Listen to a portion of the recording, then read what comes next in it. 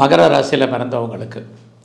உங்களுடைய ராசிராதன் சனி பகவான் ரெண்டாம் இடத்துல செவ்வாயுடைய நட்சத்திரத்தில் சஞ்சாரம் பண்ணுறான் அந்த செவ்வாய் உங்களுக்கு ஜாதகத்தை பொறுத்த வரைக்கும் லாபஸ்தானத்தில் இருக்கிறதுனால.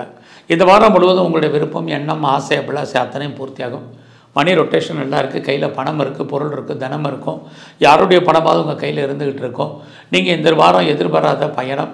அந்த பயணத்தால் உங்களுக்கு மகிழ்ச்சி சந்தோஷம் இருக்குது உங்களுடைய உறவுகளால் உங்களுக்கு நற்பலன்கள். இது எல்லாம் இந்த வாரம் இருக்குது அது மட்டும் இல்லை இந்த வாரம் நீங்கள் யாரோட கம்யூனிகேட் பண்ணணும்னு நினைக்கிறீங்களோ அவங்களோட டைரெக்டாக கம்யூனிகேட் பண்ணுங்கள் கண்டிப்பாக நீங்கள் சக்ஸஸ் பண்ணுவீங்க.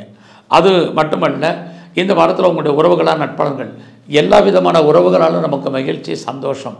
இது அத்தனையும் இருக்குது நீங்கள் ஏதாவது சிறுதொழில் சுயதொழில் பண்ணுறீங்க அல்லது வீட்டில் வச்சு எதுவும் பிஸ்னஸ் பண்ணுறீங்க குறிப்பாக ஆன்லைனில் பிஸ்னஸ் பண்ணுறீங்க commission agency brokerage contract consultancy பண்ணுறீங்க ஏதாவது ரியல் எஸ்டேட் பிஸ்னஸ் பண்ணிட்டு இருக்கிறீங்க கம்யூனிகேஷன் துறையில் இருக்கீங்க ஏதாவது டிஜிட்டல் துறையில் இருக்கிறீங்க எனி மீடியா லைனில் இருக்கிறீங்க மார்க்கெட்டிங் லைனில் இருக்கிறவங்களுக்கெல்லாம் இந்த வாரம் நல்லதொரு ஏற்றம் முன்னேற்றம் உங்களுக்கு மகர ராசியில் பிறந்தவங்களுக்கு இருக்குது அது மட்டுமல்ல உங்களுடைய நான்காம் இடத்துல குரு பகவான் வக்ரகதியில் அவரும் சுக்கரன் சாரத்தில் ஒன்பதாம் இடத்துல இருக்கிறதுனால உங்களுடைய எஜுகேஷனை பொறுத்த வரைக்கும் நல்லா இருக்குது குறிப்பாக அப்பா அம்மா ரெண்டு பேராலையும் உங்களுக்கு நற்பலன்கள் அவர்களால் மகிழ்ச்சி சந்தோஷம் இது அத்தனையும் இருக்குது கம்பெனி மாறுறதா இருந்தால் மாறலாம்.